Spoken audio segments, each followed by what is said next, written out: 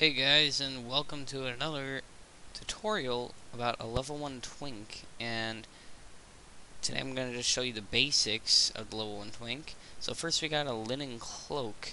Now, that is made from a tailor, and it has only 6 armor, but you can add plus 3 agility with the um, enchant on that. And your simple black dress, it gives no armor, but it has an item level of 47, allowing you to either have a good choice of plus 6 to all stats, or plus 150 health.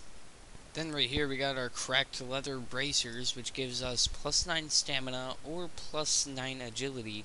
Right here I only have plus 7 agility because I was kind of poor at the time.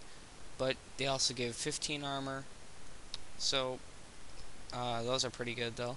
Um, then we got cracked leather gloves that give plus 15 to agility for a good enchant. They give 21 armor. I think you can get plus 15 stamina as well. And cracked leather belt, beginning of belt. Belt, uh, you cannot get an enchant on a belt or anything as far as I know.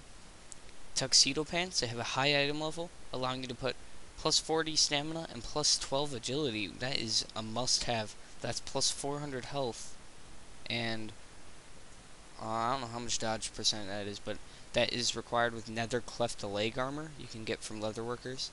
And then cracked leather boots with a plus 7 stamina enchant. And that's the basics of the level 1 twink. For a little more details, go to the description of this video. Thanks for watching guys, this is Frostbeard.